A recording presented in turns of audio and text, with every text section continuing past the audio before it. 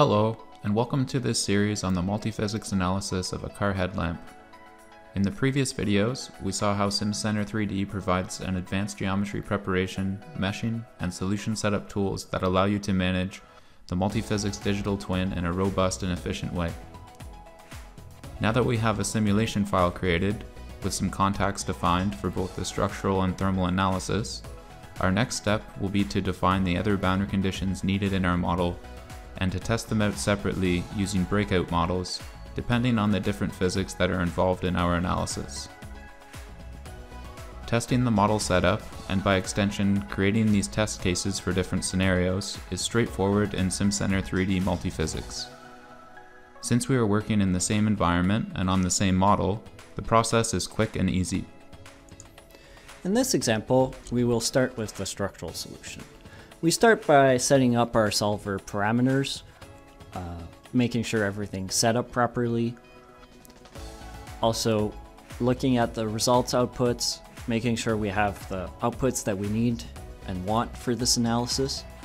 Uh, for this test of the structural setup, we will be reusing the surface-to-surface -surface gluing conditions that we created in the previous video.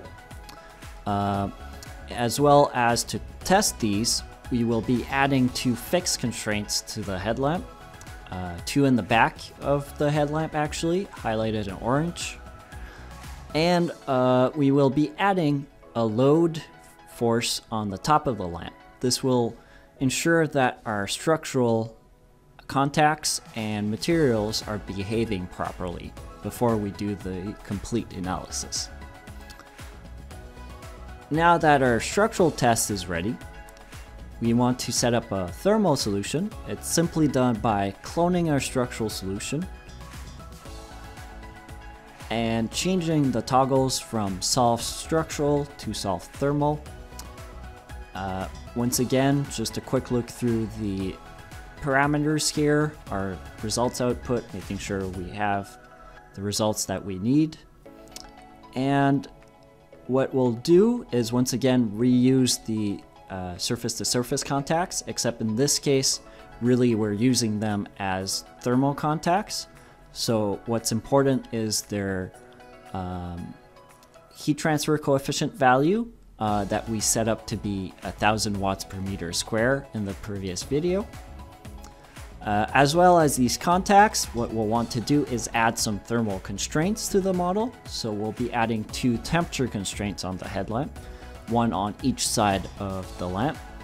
This will test the conduction through the various contacts and the various materials in the lamp, uh, which is always a good test to do uh, before uh, adding any complexities to our model. Now, before we launch this solution, we'll also want to remove the structural constraints as well as the structural load, which we won't need for this thermal only test.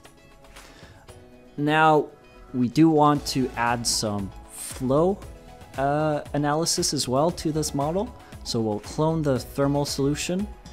Uh, once again, in the solver parameters, we'll simply add the toggle solve flow uh, to the solve thermal um, that is already there. This will turn on the CFD calculation for our model.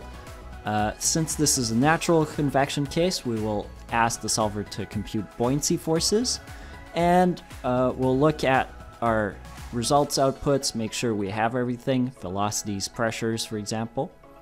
And that is all that is needed to set up are three breakout models for testing the various portions of this model in the structural, thermal, and flow regimes. In this video, we saw how to quickly and efficiently set up three breakout test solutions for three different scenarios of physics modeling.